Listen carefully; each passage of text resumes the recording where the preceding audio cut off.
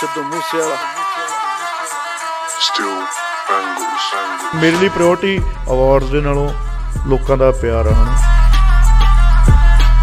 ਹਰੇਕ show award ਵਾਂਗੂ ਹੀ ਹੁੰਦਾ ਕਿਉਂਕਿ ਉੱਥੇ ਜਿੰਨਾ ਹੀ ਕਰਾਊਡ ਆਉਂਦਾ ਇੰਨਾ ਪਿਆਰ ਕਰਦਾ ਨਾ ਲੋਕ ਇੰਨਾ ਜ਼ਿਆਦਾ ਐਪਰੀਸ਼ੀਏਟ ਕਰਦੇ ਨੇ ਨਾ ਮੇਰੇ।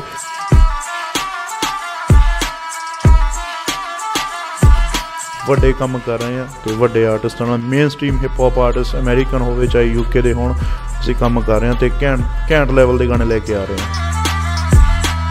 ਅਸੀਂ ਲੈ ਕੇ ਜਾ ਰਹੇ ਹਾਂ ਪੰਜਾਬੀ ਨੈਕਸਟ ਲੈਵਲ ਤੇ।